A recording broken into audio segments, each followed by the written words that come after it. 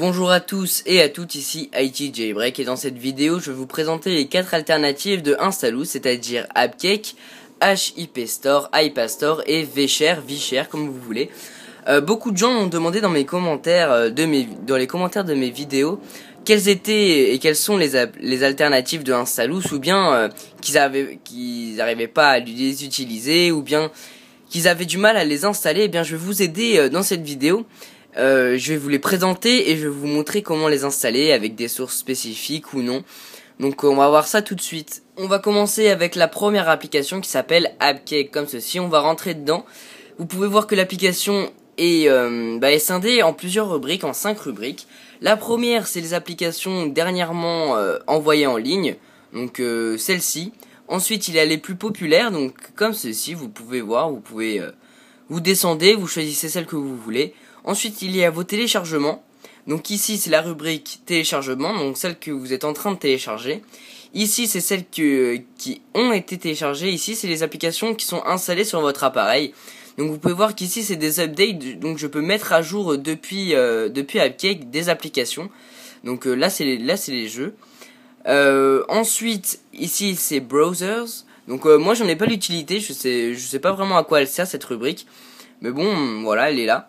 Et Settings, bon moi dans Settings, la seule option que je vois intéressante c'est Install After Download. Ça va vous permettre de, que l'application s'installe directement après avoir été téléchargée.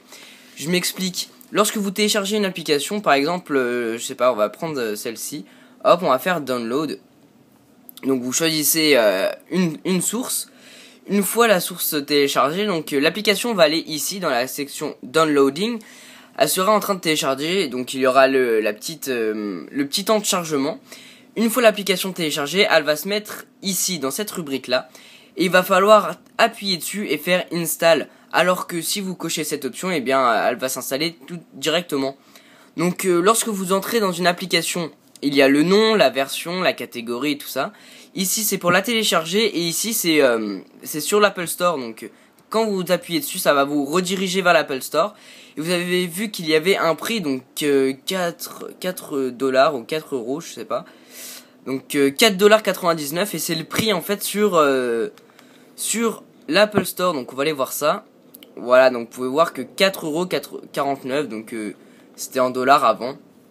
Donc voilà, et ensuite euh, bah, vous avez les screenshots en dessous. Donc c'est ça se présente exactement comme l'Apple Store en fait. Ensuite, la deuxième application que je vais vous présenter, c'est HIP Store. Donc cette application est quand même moins complète que euh, par exemple.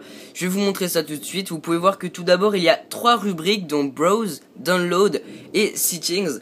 Donc dans Browse c'est ici que euh, vont être cataloguées toutes les applications. Donc ici par groupe, vous pouvez choisir par appareil aussi, donc iPhone, iPad et les applications euh, les plus téléchargées en fait. Donc ensuite vous pouvez, donc vous choisissez votre rubrique, par exemple je vais faire All Application. Vous choisissez celle qui vous intéresse, je vais prendre celle-ci, bon voilà, celle-ci par exemple. Donc là ça se présente autrement que sur AppCake. Ici vous avez les infos, donc le prix sur l'Apple Store et tout ça. La version, euh, qu'est-ce qui est, c'est compatible avec quoi? Quand vous descendez plus bas, il y a les screenshots, bien évidemment, si vous avez envie de, bah, de voir à quoi ça ressemble, à quoi ressemble l'application. Quand vous appuyez ici, vous avez la description complète de l'application. Hop. Et ensuite, c'est pour la télécharger, la dernière rubrique. Donc vous pouvez voir qu'ici, il y a plusieurs versions à installer. La dernière étant la version 2.6. Euh, bah, vous appuyez dessus. Hop. Ensuite, il va, vous il va falloir rentrer le, euh, le, petit, euh, le petit mot ici, les, les, les, la lettre et les trois chiffres. Donc vous, vous envoyez le rapport. Et puis ensuite, elle va se télécharger dans cette rubrique-là. Vous pouvez bien évidemment éditer euh, cette catégorie pour supprimer les applications ou bien vous pouvez aller dans Settings et là dans Settings euh, vous avez euh, bah, trois options qui sont activées par défaut. Donc moi je vous conseille de les laisser comme ceci.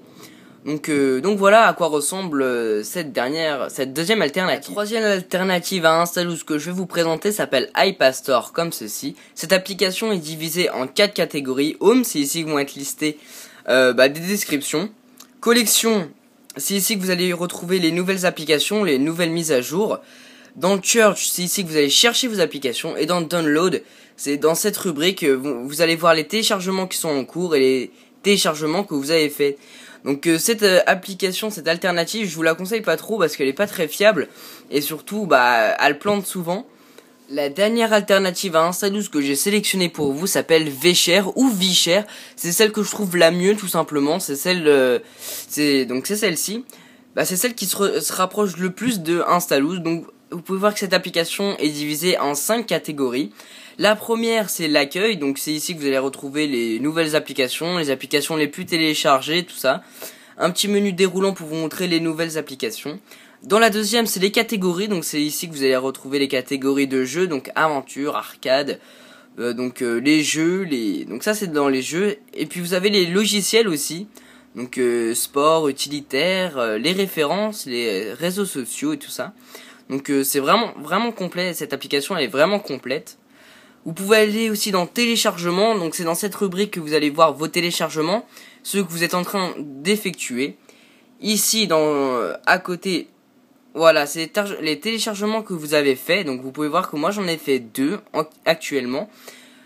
Vous pouvez aller aussi dans gestion. Donc dans gestion, c'est ici que vous allez voir les mises à jour. Par exemple, j'ai pas fait la mise à jour d'Angry Bird dans l'Apple Store, bah je peux la faire ici ou bien dans l'Apple Store. Si vous avez acheté l'application comme moi, je vous conseille de la faire sur l'Apple Store au lieu de euh, d'ici. Déjà, ça va être euh, ça va être plus long et puis euh, donc, voilà. Et puis ici, dans la, à côté, c'est installer. Donc c'est toutes les applications que vous avez installées sur votre appareil. Enfin les applications, les jeux, les applications que vous avez téléchargées via l'Apple Store en fait. Et dans la dernière rubrique, c'est plus. Donc ici, vous allez retrouver le site officiel, remerciements, les guides de notices les réglages, donc euh, quand on appuie ici, vous pouvez voir les quelques réglages que vous pouvez faire. Bon, moi j'ai rien touché hein, personnellement. Donc voilà à quoi ressemble cette application Vichère.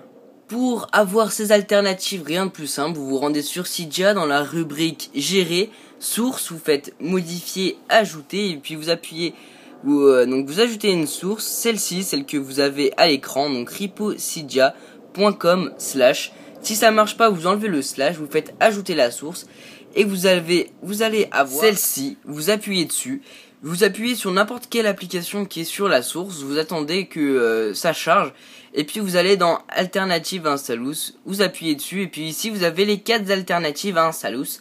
Sinon, si ça ne fonctionne pas, je vous mettrai dans la description de la vidéo les euh, eh bien les sources pour chacune des applications parce que cette source regroupe euh, chaque alternative, mais sinon, euh, vous avez les sources officielles que je vous mettrai dans, donc dans la description de la vidéo, les sources officielles de chaque application. J'espère que cette vidéo vous a plu et qu'elle vous a aidé à utiliser ces alternatives. N'oubliez pas qu'il vous faut aussi installer AppSync for iOS 5 ou iOS 6 dépendamment de votre iOS. Je mettrai bien évidemment dans la description de la vidéo euh, la source pour ces alternatives et la source pour AppSync. N'oubliez pas de visiter mon site internet itjbreak.com où je poste toutes mes actualités et mes vidéos. Merci.